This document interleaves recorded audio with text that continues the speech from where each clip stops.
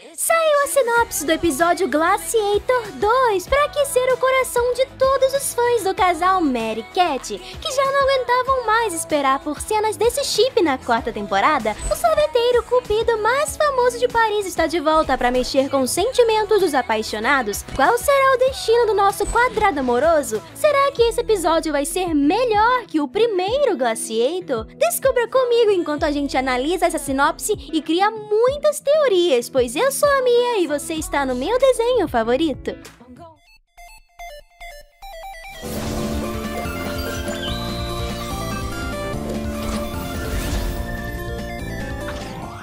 Um guia de programação do canal francês TIFF1 divulgou um pequeno resumo do episódio Glaciator 2, que traduzindo fica mais ou menos assim.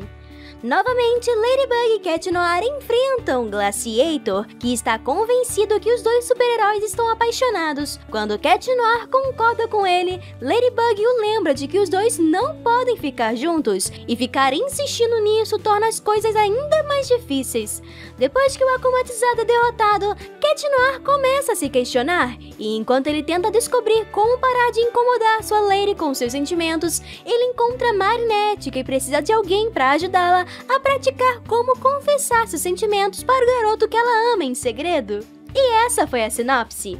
Esse parece ser um episódio diferente, que não vai ter foco em derrotar o Akumatizado. Segundo a descrição, parece que Glaciator vai ser derrotado logo na primeira metade do episódio, e todo o resto vai ser dedicado em Marinette e Cat Noir. Mas sei o que a maioria de vocês está curioso para saber. Será que existe alguma chance de Marinette e Cat Noir ficarem juntos? Os dois têm uma grande amizade e o relacionamento mais leve do quadrado amoroso, porque tecnicamente um não se interessa romanticamente pelo outro, mas compartilham um grande carinho e consideração. No primeiro Glaciator, a padeira conseguiu enxergar um lado do gatuno que ela nunca tinha parado para se dar conta. Por trás de todo aquele charme e cantadas baratas, existe alguém que tem sentimentos reais e é muito romântico. E isso é uma das coisas que ela mais aprecia, e pelo menos por um minuto deve ter ficado em dúvida sobre dar uma chance para ele. Agora que se conhecem mais, Marinette pode perceber que lá no fundo ela vem carregando sentimentos a mais pelo gatinho já há algum tempo e descobrir que ele tem mais em comum com o Adrian do que ela imaginava.